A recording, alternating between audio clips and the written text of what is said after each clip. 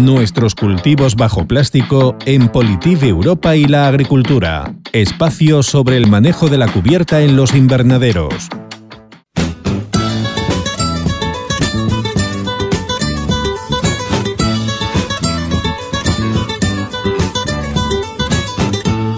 Buenos días.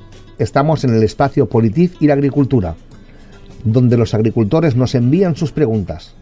Escuchamos la pregunta de un agricultor. Muy buena.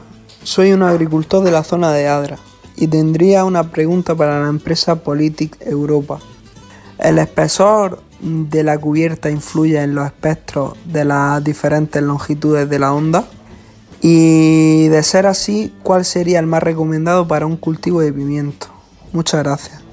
El espesor del plástico tiene que ver con la durabilidad y no tanto con el espectro de la luz.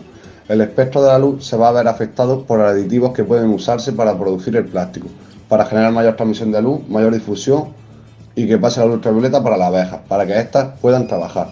Pero en realidad el espesor no tiene relación con el espectro, si va a ser influencia directa sobre la durabilidad. Por ejemplo, un plástico de 600 galgas va a ser de 2 años y uno de 720 galgas durará 3 campañas.